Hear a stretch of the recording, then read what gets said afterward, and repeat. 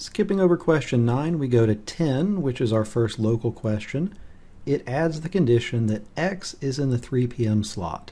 So begin by sketching your slots and put x into that slot.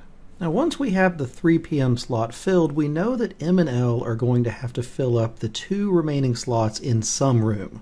We don't know if that's going to be the gold or the rose room, but they're going to be forced to be 1 and 2 in whatever room they're in.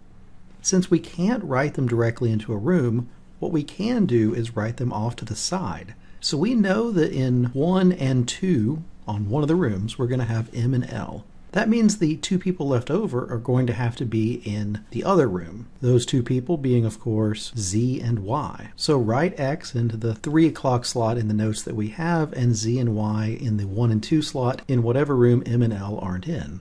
We won't be able to determine which room is which, so we're going to have to go into the answer choices just with this information. The question is asking for what must be false, so something that can never be true. And answer choice A says that L's speech is in the same room as Y's, and from the work that we've already done, and from the work that we've already done, we know that L and Y can't be in the same room. They're definitely in different rooms, which means that this is our answer. It's something that can't be true, something that must be false. That means that the remaining answer choices are wrong. We can glance at them to see why.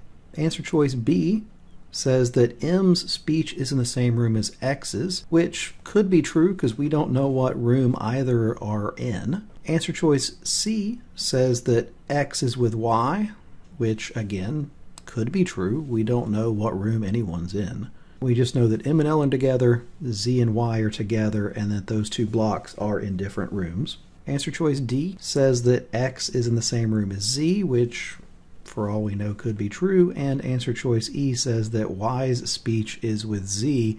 That answer actually must be true. They're definitely together. But since we're looking for something that must be false, the answer was answer choice A.